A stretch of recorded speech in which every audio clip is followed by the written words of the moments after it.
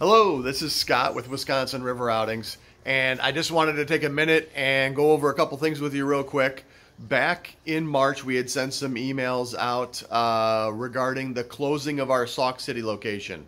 Uh, the quick version uh, Christine, my mom, had a breast cancer scare, came out the other end of it, but uh, just slowing down a little bit.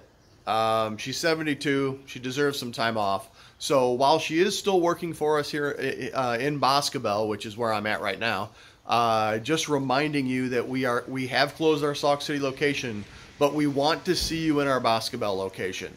So uh, take a look at this offer. Uh, 20 bucks, an overnight trip booked online. Um, so please check it out. We want to keep you as a customer and uh, also show you a different stretch of the river. If you've been a traditional Sauk City customer, come down to Boscobel, experience a different stretch of the river, and uh, we hope we get to keep you as a customer. We want to keep you as a customer, and uh, starting this Memorial Day weekend, which is looking great, sandbars are popping out, the weather's looking like it's going to be great.